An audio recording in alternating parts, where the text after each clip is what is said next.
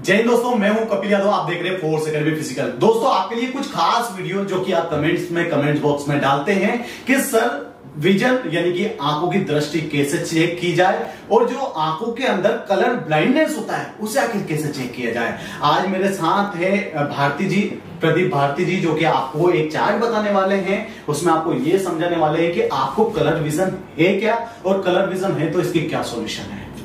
भारती जी हाँ ये एक प्लेट होती है ओके। इसमें 18 38 प्लेट्स होती हैं। ठीक है। तो आपको इसमें नंबर्स और कुछ लेटर्स दिए गए हैं। वो आपको रीड करना करना पड़ा रीड करना पड़ा अच्छा जिसका कलर ब्लाइंडनेस मैं मैं हाँ। अपनी तरफ़ करके देखता हूँ मेरे को देखता हूँ कि मुझे कलर ब्लाइंडनेस है या नहीं है। हम्म। ये ट्वेल्व है। जी। अगर मेरे को कलर ब्लाइंडनेस होता तो क्या ये मेरे को दिखाई देता? नहीं दिखाई देता है वो क्यों? भला रीजन क्योंकि कुछ लोगों को जो है ना कलर ब्लाइंडनेस का मतलब ये है कि अगर रेड एंड ग्रीन दो ही कलर्स में ज़्यादातर पहचाना जाता है। जी। जो कि आपका ये रेड एंड ग्रीन प्लेट ही है। जी। अदरवाइज़ कोई कलर नहीं है। तो इसमें आपको रेड कलर अगर प्रॉब्लम होता तो ये नंबर्स आपको नहीं पहचाने मोस्टली किन कलर में प्रॉब्लम्स आती हैं? रेड एंड ग्रीन में ज़्यादातर ज़्यादातर रेड और ग्रीन में मानी जाती है। ये एट है। मुझे तो अच्छे से दिखाई दे रहा है आई थिंक मेरा कलर ब्लाइंडनेस नहीं हो सकता है। एट नाइन मैं आपको सारी बुक पढ़ के बताता हूँ। Twenty nine fifty seven five eight fifteen seventy four और इसमें एक ही आपने दिया है six by six nine by nine ये क्या है?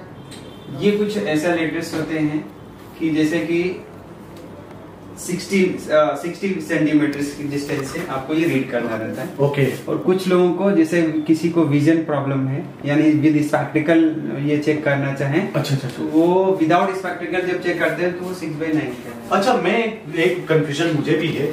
अगर मैं चश्मा लगा लूँ वो चश्मा लगाने के बाद भी कलर विजन आ जाते हैं क्या?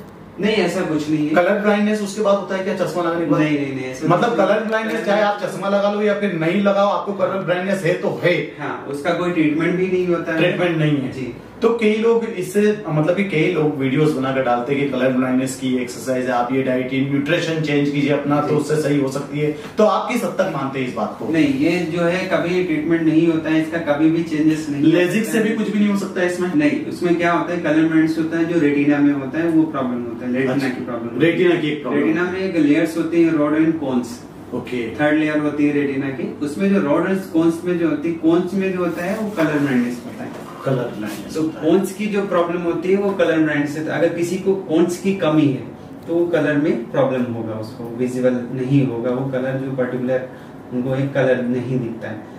अन्यथा अगर रोड एंड कॉन्स प्रॉपर है रेटिना में प्रॉपर है तो आपको ये कोई भी प्रॉब्लम नहीं होगा।